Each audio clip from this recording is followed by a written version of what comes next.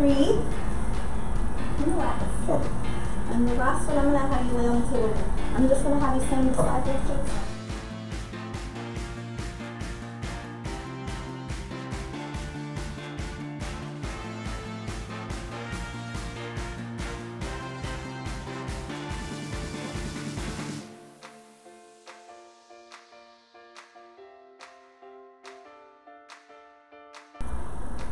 Hello. Hello. I'm Andrew. I'm with X-Ray. We're gonna be taking a few pictures today. Okay. Six nine nine. We'll be fine. We'll keep those pants on as well. Okay? No, that's fine. But I am going to put the shield on you for your. Any chance of pregnancy for you today? No.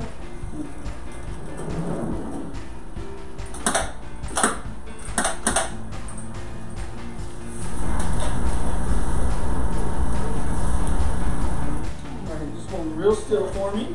We'll lay on your right side.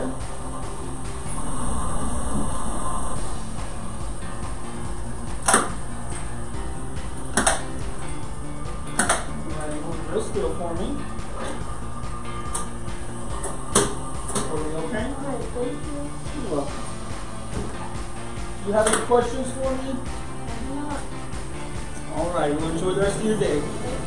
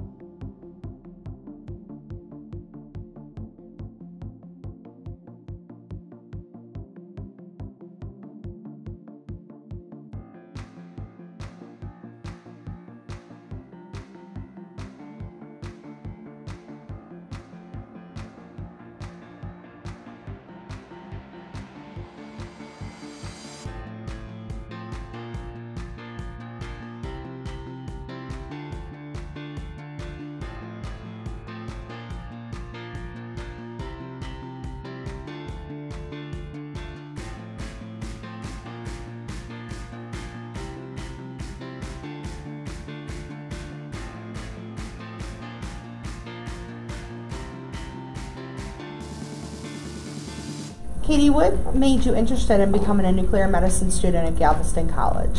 Well, after getting my bachelor's degree in kinesiology, then I wanted to do healthcare. So I talked with my sister. She graduated from the same program um, two years ago, and so after talking with her, it kind of like got my interest a little bit more. Did my own research, and here I am. Currently, I'm enrolled in the CT program. So the goal is uh, during the summer, I'll be certified nuke med and CT. Eventually, I do want to do PET.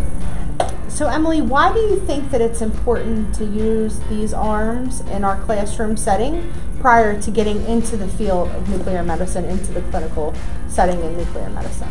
I feel like these arms give you a really good base to start off with mm-hmm. because some of them, because the arms aren't like an actual arm, these can sometimes be really easy to use and really difficult to use. So whenever you get into the actual field, it's like, oh, okay, this is how the vein actually feels like. So it gives a really good foundation, especially with the steps and preparing your IV making sure you flush your line, making sure you tie the tourniquet properly, cleaning the surface, like everything from start to finish.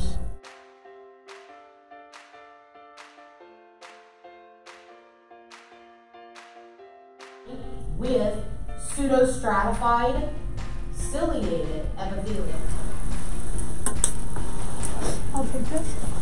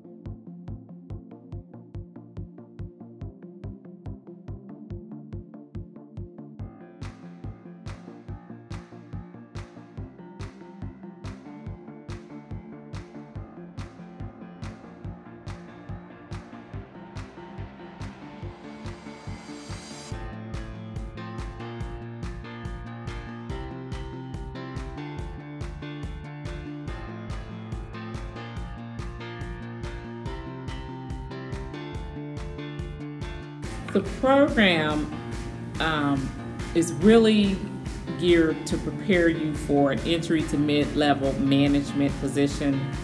And these are positions that are expected to be in the healthcare field within hospitals, within clinics, um, managed care organizations, um, public health agencies.